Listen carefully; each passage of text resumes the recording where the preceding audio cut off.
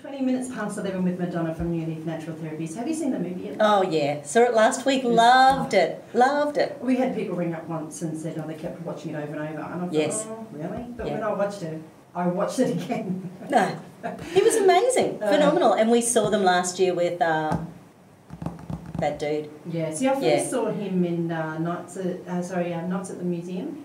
He, Oh! he, he, he was the Egyptian prince. Really, So, I can imagine that. Yeah, yeah. Yeah, yeah, yeah. I have to check it out again. if you've just joined us, we're uh, sitting here with Madonna from New Leaf Natural Therapies on Bay Health, and we were talking actually um, just about um, allergies and how the immune system can be oversensitive. Yes. Um, so we'll just go on about, you know, this is a lifestyle thing, Yes. not uh, not necessarily a choice we've made, but just exposure even Exactly. in the environment. Yeah. So, so one of the things that tends to happen is that the cell membranes end up getting chock a block full of environmental pollutants. So bit by bit, the cells stop being able to detox.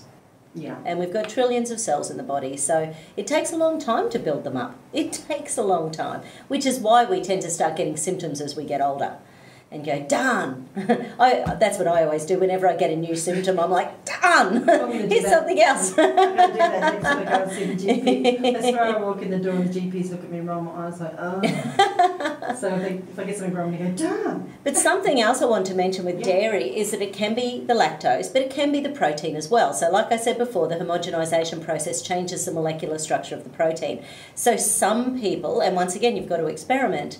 Uh, so, some people will have an issue with the casein, the protein in the dairy. So, therefore, uh, it's the A2 milk that helps because that's an older variety of casein that hasn't been changed so much. Right, and because you're talking about ho- homogenous and Pasteurization. pasteurised. Now, yes. that's um, the. Just explain to people, in case, oh, look, we've all heard it, we read it on the labels all Yeah. the time, but just explain a little bit about what it is so when people, you know, read a milk label next, they know what it is that they're looking at. Well, they're really so the homogenization is about emulsifying the fats and the protein and sort of and the then they're heating it to a really high temperature so that it's killing off so the idea is that it's killing off any bacteria or any bugs in the milk.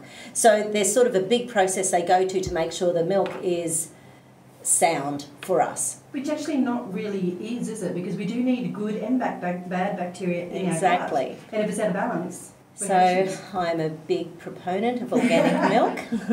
so and once again, sometimes if people just swap over to organic milk, because you know, like dairy and wheat are also linked in with things like eczema dermatitis, those real scratchy skin problems, and absolutely going off them totally, and it can take time. So yes, sometimes it can be a week and they're just going, yeah, my symptoms are so much better. But sometimes it can be a little while longer, especially if the gut's really deteriorated. So it depends on how the villi are growing, the enzymes they're releasing, you know, there's there's and the probiotics in there. Yeah, that combination of the microflora in the gut. So yeah, homogenization, it's really changing it so it's harder for our body to digest. Yeah. You can buy things called uh, dairy zymes or intolerance complex, which means they actually have lactase in them, which means that if you love your dairy but you know it hates you, if you take a couple of them every time you have dairy, sometimes that will really settle symptoms down. Oh, right. Well, see, I didn't know that. Yeah. So I oh I love digestive enzymes. Yeah. We'd almost write an article on it. Yeah, digestive yeah. enzymes. Yeah. But look, probiotics is out there now. It's really actually in our faces. It's advertised on Yes. pretty much everything and on TV as well. So probiotics is, you know, it's good for us to get involved with them. It is. Become a friend. And these days, sort of from the naturopathic perspective, if you're going to do the basics, it's sort of like a fish oil a day, a multi a day, and a probiotic a day. Right. You know, so if you were doing that alone, that alone really helps lots of functions in your body. So expect your pee to smell. Yes, those B vitamins. It's a yes, good thing though, because you know that all it's also depleting all the toxins that are in Yeah, there as well. and that's right. cleansing. Yeah, Yeah. absolutely. All right, look, we're it's 24 minutes past 11. Thank you, Madonna, for that lovely information on probiotics. We'd like to hear about probiotics, but we're going to get into the summertime right now. This is a great song. Here's Thirsty Merc on Bay FM.